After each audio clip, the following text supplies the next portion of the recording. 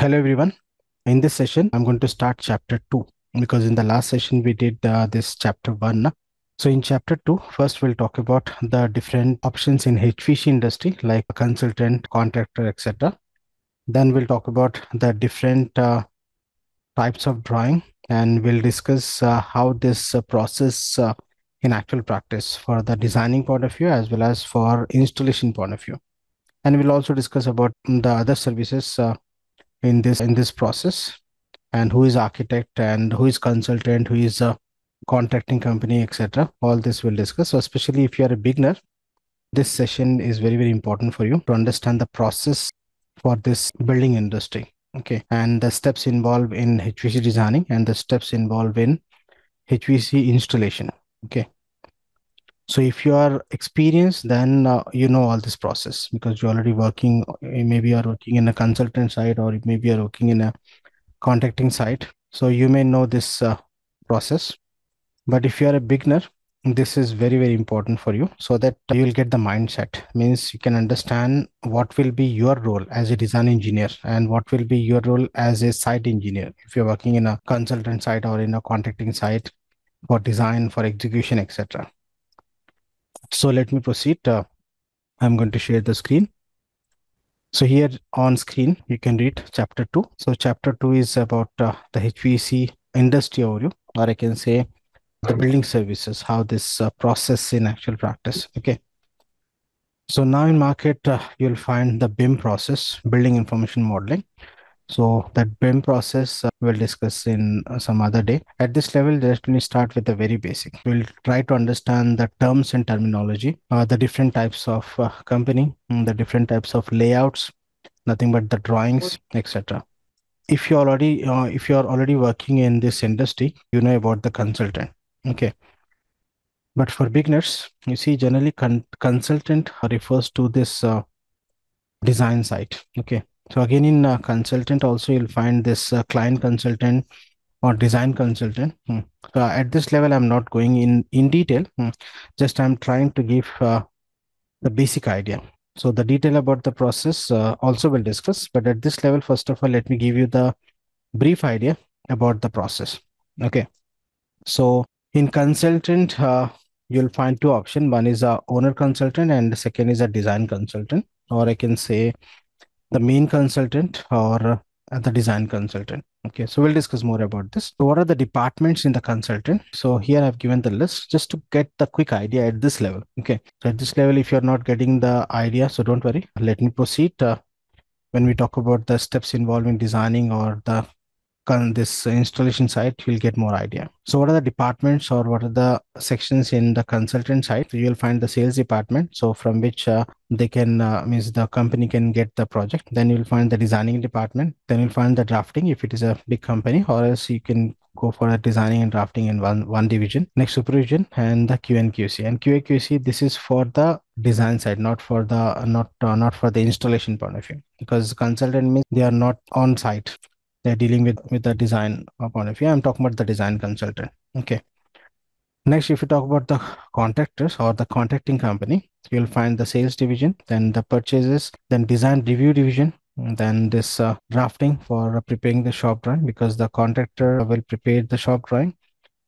You see, in actual practice, uh, you'll find the different options. You may find the design and build project if the if, if the design and build project means uh, one main consultant will take the responsibility. At this level assume that i'm considering a separate consultant company and separate contracting company. It can be a one company who's taking care of, of all this because you see uh, in actual practice if you're working in uh, say qatar or in in a, any any country and if you're dealing with a big project uh, you may find one company dealing with all mm, or else can, can be a different different company. So in actual practice you'll find the multiple option. So don't get confused. At this level just try to focus on the concept. So here in contracting also you'll find the sales purchase the design drafting execution supervision and QAQC. And you see this execution in the contracting side and here in designing in the consultant side okay because generally consultant refers to the design side. I'm talking about a design consultant and the contracting refers to the installation execution side. Okay. Again in that contracting company you'll find the subcontractors. So it's it's a big process for big project. For small project the the things are not that much complicated. So we'll try to understand the process of this uh, this services or this uh, designing and the execution uh, in actual practice in this session. Similarly, you'll find the separate maintenance company mm, or uh, the contracting company may take the maintenance or generally in actual practice, the contractor who complete the job or who complete this uh, installation will take care for this maintenance also okay? Like uh, three years maintenance or five years maintenance they need to provide that maintenance uh, as a part of their uh, the project scope. Or it can be a separate maintenance company that includes again sales division purchase division service cleaning etc okay? So this is just to get the idea uh, no need to write. I'll share you these notes. Just focus uh, on screen. If any additional points, I'll inform you to write. Just focus and try to understand the, the process. So now we'll discuss how this HVAC project executes in actual practice. Because in this training program, we bother about this HVAC service. No? So I'll my focus is uh, on the HVAC system. Apart from this, uh, I'll give you the idea about the other services also for coordination is required. But at, at present, as per this course syllabus, uh, my intention or my focus in is on the HVAC system. So first we'll discuss the design steps or the design procedure in for the HVAC side in actual practice. Okay. So if you talk about the designing the HVC system and you see this process is similar even for other services at this level here i'm focusing on for hvac but even for other services also you can consider the similar process with uh, some with few changes so you see the first is a client in the list so client means whom? You see, you can call client, you can call customer, you can call owner, etc. Client who means uh, who give a project for execution. Yes. So who required to initialize the project? No? So assume that you are the client and you are interested to construct a villa or a or a high-rise building, whatever, or a hotel or a school, etc. So assume that you are the client Okay, so as a client, uh, in actual practice, to whom you are going to contact to get this information or to start the project? Architect. Yes, and who is the architect? Architect means uh, uh, who design the design, to design the building, building design. No, I, I, I don't think. Who's doing space planning? Uh, you see, here we can say architect or we can say the main consultant. Okay. Yeah or I can say this owner consultant. Generally, for a small project, we can say architect because architect will take care for overall building planning and design. But it not mean that he will he will design the HV system, he will design the plumbing, firefighting system, etc. No, but he will take care for overall planning of the building, hmm, the idea. So if you talk about this uh, main consultant or uh, say owner consultant in that you may find the different engineers including the architect or a senior mechanical engineer or a senior electrical engineer. So initially the under architect you'll find all this mm, because uh, architect is not just a civil engineer. He is taking care for including the services also means the overall planning of the building. And if you talk about this uh, uh, in engineering also if you talk about this uh, BArch compared with the btech civil or mechanical BArch is uh, not four years. It's uh, four plus years you know nearly five years. And they are they are they are going to learn this uh, civil side and also this building services. Means they know the overall picture of the building including the services. So they can able to coordinate with the services and initially they can initialize the project Okay, so generally we can, as a client, we can contact to the architect or we can, I can say the main consultant in actual practice for big project. For a small project, you can contact to the architect and he will initialize the project and he will prepare the architectural layout, including this uh, structure at the initial stage, like uh, concept drawing. And with that, uh, he can float that to the uh, to the consult to the sub consultant who is taking care for different services. Mm. So in actual practice, you may find a separate sub consultant for different different services, or you may find a one consultant taking care for all the services. Mm. So in actual practice, you'll find multiple options. So you may find the separate sub consultant or you'll find one main consultant. Again, in consultant, we have a design consultant, we have a main consultant. Hmm. So a design consultant uh, basically is for, for designing point of view, but main consultant will take the, the complete responsibility for big projects. So at this level, I'm considering architect, but if it is a big project, you can consider the main consultant or the owner consultant. Okay. Getting a point online? Yes. Just just try to visualize the process and try to visualize the concept. Hmm. Because in actual practice, as per the type of project, does this process may vary. For very small project, we don't take for all this thing. One engineer will take care for, for all this. Okay, or for small project, uh, like in India, we don't require a separate designing for plumbing. The plumber will take care of this. So the the options will change accordingly as per the type of project or uh, the size of the size of the project or location etc so here what we are discussing is a standard process. So you see as a client you're going to contact to the to the architect or to the to the main consultant and who will take care for overall planning of the building. Okay. And after that you see this architect he will provide that architectural layout. So he will prepare the architect architectural layouts, initially a rough sketches, not in detail. And he will provide this information to the different services or to the different sub-consultant or one consultant may have all this. So you see, these are the different services, the, the firefighting system, electrical system, HV system, structure. Again, you see structure based on the load of the services. And you find some other consultant for, for this uh, security side or for elevators, for accelerators, etc. So this is this is for the design point of view. So we have some important points to discuss. You see design for the or design of the large building project is an extremely complex task. It's not easy. Why? The the main reason is what? Because you'll find n number of services and if it is big project means uh, it's not easy because of coordination uh, issues. So you see design of a large project so you see, design of a large uh, building project is an extremely complex task. It may take months or even years and to complete and may involve n number of engineers. But if you talk about a design of a small project, one engineer or two engineer can take care of this. Next, further, you see the design for the HV system because here at this level we bother about the HVAC, you know, so directly in the notes you'll find related to HVAC. But again, if you are dealing with other services, the case is similar. But here, the design of HV system for large project is a responsibility of whom? The consultant company who is taking care for this HVAC, or it can be a consultant taking care for all the services, or specifically for the HVAC. At this level, we are talking about HVAC, so that's the reason I have written this HVAC consultant company. Okay, so remember the design will take care by the consultant, and uh, the installation is going to take care by the contractor. Or if if we, if you talk about the main contractor the main contractor may take the responsibility of both.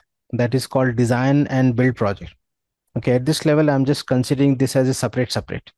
If it is a main contracting company the case is different for big projects. So in actual practice you may find that options also Okay, so don't get confused. At this level, just try to understand as a separate, separate, uh, separate consultant separate and uh, contracting separate. So here, the design for the HV system for large, uh, large building project uh, is responsibility of a HVAC consultant company. Consultant engineers may also carry out such uh, other duties such as what cost estimation and field supervision on site. Uh, they will supervise also, but it not mean that they will involved in the installation. The installation part will take care by the contractor or again you may find the subcontractor. Uh, next you see each of these tasks is performed in cooperation with whom? Architect as we discussed or we can we can call the main consultant or in in uh, in design and build project you can consider the main contractor who carry out the overall building planning and design and the next point is very very important coordination between the architect and the services and in between the services is very important and difficult task. And if any error in the coordination will give you the disaster result. For example, if you talk about design site, in design, before uh, completing this electrical design, if the HVAC people complete the design, so then then what will happen? I'm talking about this say uh, this uh, placement of air terminals, uh, duct routing, etc. Before this electrical, so what what issue will arise? Yes, online. I mean, electrical services are above the you know ducting and all this. You see, one example. Uh, even the beginner also can can relate this. Hmm. So everyone know the light fixtures, right? Light fixture you'll find in the false ceiling. No? Just I'm saying taking simple example so that even the uh, beginners can relate. So everyone know this light fixture, right? So for for example, here is a plan. In that, these are the locations for the light fixture, and if this information is not aware by this HVAC design engineer, what will happen? They may utilize this space for placing the air terminals like diffusers. Hmm. So what will happen? In drawing, it's possible, but in actual practice, in one location and at the the ceiling, at the false ceiling, you cannot place the two different uh, uh, components. right? This is one example, simple example, so that you can you can relate. So the coordination is required even in design also. Definitely is required at the time of installation. That is that is very important. But even at the time of designing, the coordination is must. And for that we have a BIM process, and for that we have advanced softwares like uh, Revit. Anyhow, this course is not for Revit. Uh, Revit we are offering as a separate course. And uh, if you think that I'm promoting Revit, uh, you're not completely wrong. So I'm promoting the Revit because uh, now in market uh, maximum uh, the big consultant or many countries uh, they're using this Revit software because Revit work on the BIM concept, especially for this uh, coordination point of view. It's a very uh, advanced process. Okay, so in in some in some class we'll talk about that BIM concept. Next, so coordination is very very important at the time of design stage as well as at the time of uh, installation. At this level, we are talking about the design side. Next, you see the steps involved in HVAC because here we in this training program we bother about HVAC, you know. So we'll discuss the steps involved in the HVAC designing so that uh, at the time of designing also these steps will help you. And uh, this can this can be asked at the time of interview also, very uh, basic question. So if you are applying for a design engineer, you can can expect this question, the steps involved in the HVAC designing and that too in order. So here the first step is a building survey. But you see, all these services can design after what? After getting the architectural layout only, no? Initially, Yes, if you talk about uh, initially, if you talk about the concept drawing or concept stage or very initial stage, that case is different. But again, for example, if the design consultant want to design any service, the reference is what? The architectural layout. Because all the services for what? For for designing and installing for the building, no? So the architectural layout, the building layouts are required. So just assume that the architectural layouts are ready. So when we get as a design engineer working in a consultant for the HVAC site, the first step is what? You see, building survey. And we have a separate chapter for building survey, which is uh, chapter number six. After completing this uh, basics up to chapter five, you'll find all the basic and which is also very, very important. But the designing part start from chapter six, and that is building survey. So in building survey, we are going to extract the information from the architectural layout, from the electrical uh, service, and from the different uh, from the different people, and we'll prepare a file called input file. And based on that, we can start the load calculation. And based on that only we can able to select the type of system. So at this level you may not get some this terminology if you're a beginner but don't worry. We have a separate uh, chapter for all the steps. At this level just i'm giving the idea so that you can uh, get the mindset. Huh uh, these are the steps for the designing. And later if I when I expand this uh, steps you'll get the clear idea. So at this level building survey it not mean that land survey or level survey. That land survey level survey will take care uh, by, by the civil people. But as a mechanical or electrical engineer building survey refers to extracting the information from the architectural layout uh, and uh, understanding the requirement for the for the building getting the inform inputs from the from the client from the other in, uh, services to prepare uh, a list of uh, information that is called input file. Based on that, we can start the designing for the service. And this is very, very important because you see, nothing is fixed in actual practice. Hmm. Suppose if you're working in a consultant as a design engineer, suppose one time you may you may get the project related to uh, say application as school. Hmm. Next time you may get uh, say say office project. Or, or as you may involve in any industrial industrial uh, project. So what do you think? The requirement for this different application is going to be same or different? Different. Different. So that says in extracting the information is required, then only you can able to design as per the application or the project or client or location or authority requirement. Right. So that's the reason this building service is important. We have total 17 points to discuss in detail in chapter 6. Next, based on that, we can think for selecting the system. You see, don't get confused here. Equipment selection and system selection both are not same. System selection means selecting the type of system which suits the building requirement or the client requirement. That client requirement I means I'm talking about the budget point of view or the architectural requirement, interior requirement, etc. And selecting system is not just a technical part. You need to consider this uh, other people requirement also. And here system selection refers to for example, suppose assume that you, you got a very small villa project. So in the small pro villa project, we are not going to suggest chill water system. At this level, you may not know what is chill water system. So at this level, you see chill water system is generally for big project. For small project, you are going to suggest what? Window or split? Okay, window. Okay, you know, you forget about the window. Window is not a standard. So you may you may suggest the split system, or you may suggest VRV the system. uh, VRV system or uh, package or ductable. You will not suggest for the chill water system. Uh, chill water system also available with the 15 TR capacity. In special cases, one can use, but generally for small villa project, nobody will install this chill water system. We have other, we have other and easy, we have other option which is uh, budget budget friendly and uh, space friendly.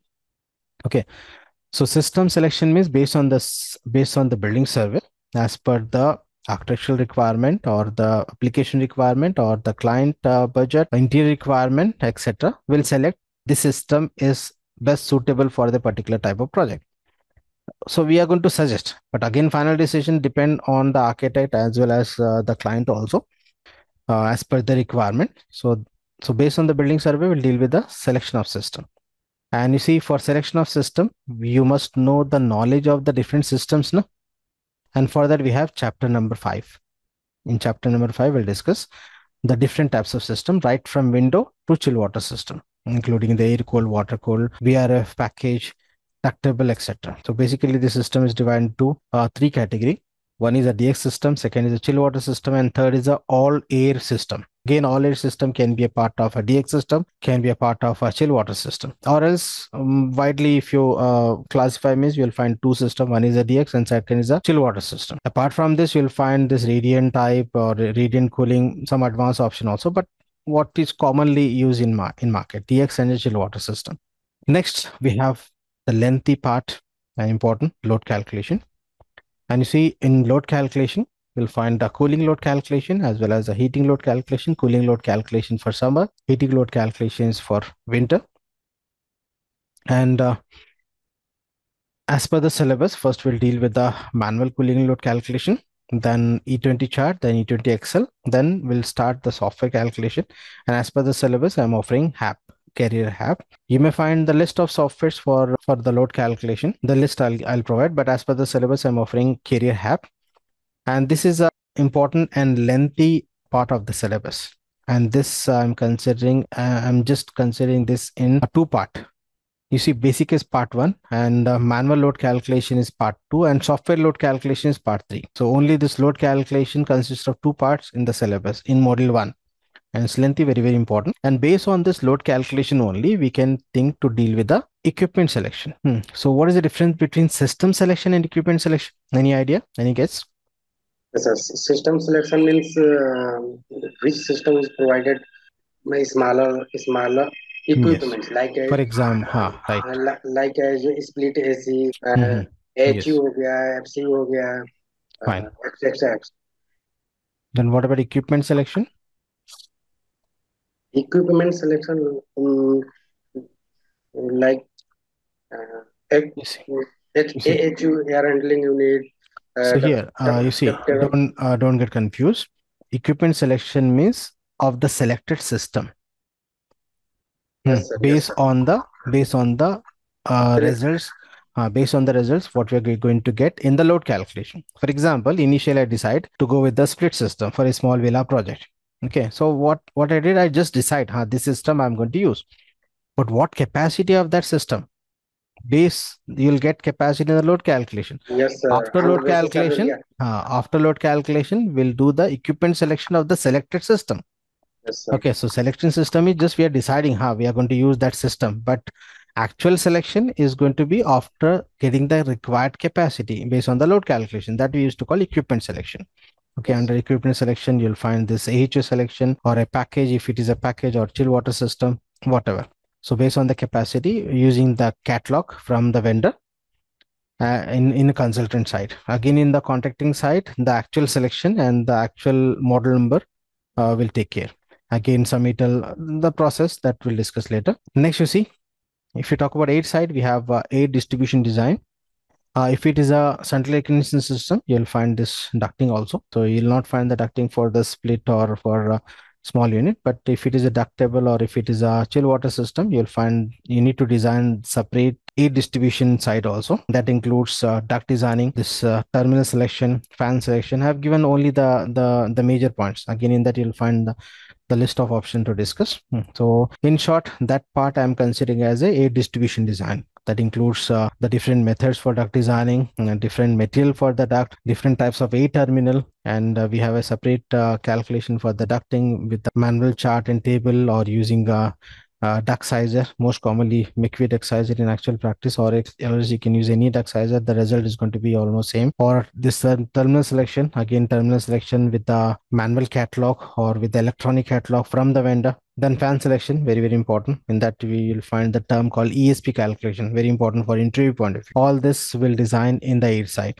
Next, if it is a chill water system, for example, at the time of after building survey, if you decide for the chill water system, chill water system is it can be air cooled system or it can be water cooled system. For that, you'll be required this chill water pipe designing.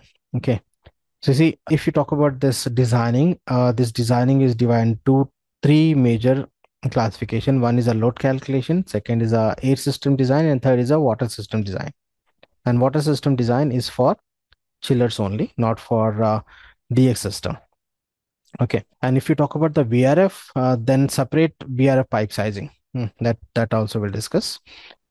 You can consider this uh, ductable split as a DX system or split system as a DX system. Even VRF also a DX system, direct expansion. Okay, yes. and the chill water, uh, air cool and water cool comes under chill water system. But don't worry, if anyone don't know the difference uh, of the system we'll discuss in detail in chapter 5 because see in one class you cannot learn all these things. So you may not uh, if if someone is beginner you may not get terms and terminology or else even experienced people may get confusion because you see in some location the terms and terminology is different okay in actual practice uh, based on the location also this terms and terminology will change okay so don't get confused we'll discuss in chapter 5 Now, So this chill water pipe designing also very important. And for interview point of view, also very, very important. And generally for big projects, you'll find chill water system. In that you'll find the pipe designing with the velocity method, with the ASHRAE method, etc., which I've given at the at the starting session in the syllabus. So I'll not I'll not repeat that one because we have a separate uh, part for this chill water uh, sizing part. Actually, it's a part five. You see, part four is a air side in designing a model one, and part five is a chill water side fitting and uh, accessories uh, we used to call uh, valve package or hookups then pump selection very very important uh, for uh, design uh, for design point of view then apart from this you'll find this control system design i'm talking about the bms which is not included in the syllabus i'll give you just uh, the overview of bms but uh, not in the in the syllabus um, which is also required generally this will take care by this uh, electrical people or this uh, instrumentation engineers, etc. This BMS part means control system. Next, planning the location of each piece of equipment in the building. Okay. So these are the steps for the HVAC designing and each and every step will expand in detail in the future in the next classes. Okay. So at this level, just to get the idea for the sequence of designing. Okay. So the major, the major, the major part is what load calculation, air side and the water side. Okay, and load calculation is common for any equipment. If it is a DX system or if it can be a chill water system, we require the load calculation. Hmm. But this chill water, this uh, this ducting and uh, chill water is for central air conditioning system and chill water specifically for air cooled and water cooled chillers. Next. So next we'll talk about the installing the HVAC system. But before this, we'll talk about the types of drawing. Again, this is also very basic to understand the terms and terminology. Hmm. And these types of drawing, this general drawings is common for all the services, including the architectural and structural side. Okay. But before this, uh, do you know the difference between architectural and structural site online? Anyone? This architectural and structural.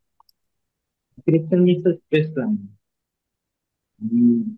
Structures means beam, column, slab. Yes. So if if someone don't know, please make a note. I request to maintain a separate running notes also. So I'll give you some few points which is which which is not in the notes. So you can write. Uh, you see, as a mechanical or electrical engineer dealing with the services, you should have some basic of this uh, this uh, civil side also. So you can write uh, architectural includes walls, comma doors, comma windows, and planning of spaces. This I'm giving in short. Walls, comma, doors, comma, windows, and planning of spaces. So you'll find a number of options in architecture. Just I'm giving the main points. Next. Next you can write structural includes footings. Footing means the foundation of the building, comma, slab, comma, beams, and columns. See which bear the load of the building, which bear the load of the building, including mechanical and electrical equipments, which will bear the load of the building, including electrical and mechanical equipments. So you see, that's the reason the structure again will update after completing this uh, mechanical and electrical services based on the load of the equipment for example in a, in a project if you want to place a air cooled chiller which is uh, big in size for example i'll show you the image of chiller at the time of chapter 5 assume at this level just assume it's a big equipment if you're not aware of this. And with with the load of say 1000 or 2000 or plus kgs that means it is going to be in tons. So if you want to place this heavy uh, equipment on the roof the structure must design accordingly no? so according to that uh, the structure people will take care for uh, to bear the load. So and one more point here. What do you think? Uh, this wall is a load on the building or uh, will bear the load of the building? No, no, it's not where the load uh, it, it, it wall is, itself is a load on the building no? and you see this definition is for the common walls. But now in market we have a, a standard or we have a special construction with the concrete walls and the concrete wall is a structure member not the architectural member. We have some special type of design in in actual practice uh, in in present market. You'll find the concrete walls. And the concrete wall is not a struct architectural member it's a structural member which is used to bear the load of the building. Okay so you may find this this type of construction also. It's a it's a new as uh, as per my information so remember wall always not a load. It can be it can bear the load also as per the type type of construction in the modern construction now in market